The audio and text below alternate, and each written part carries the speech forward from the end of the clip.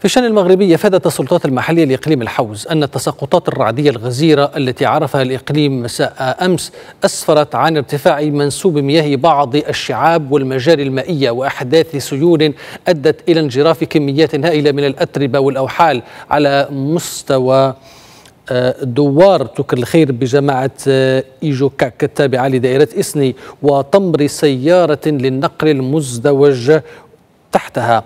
وفور الإشعار تعبأت كل الجهات المعنية حيث ما زالت الأشغال متواصلة لإزاحة الأوحال والأتربة من أجل انتشار السيارة وركابها المحتملين واستعادة حركة السير بهذا المقطع الطرقي.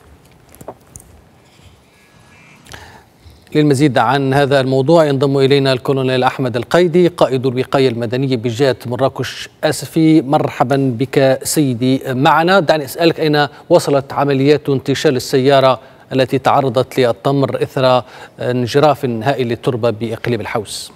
السلام عليكم. لم يتم بعد العثور على السيارة لأن الأشغال أو الأبحاث تعثرت. هذه تعثرت عشية اليوم بسبب تجدد امطار على المنطقة الآن الأشغال هي جارية الأبحاث جارية وستستمر طوال الليل على أمل أن نصل إلى نتيجة إيجابية خلال الساعات القادمة إن شاء الله.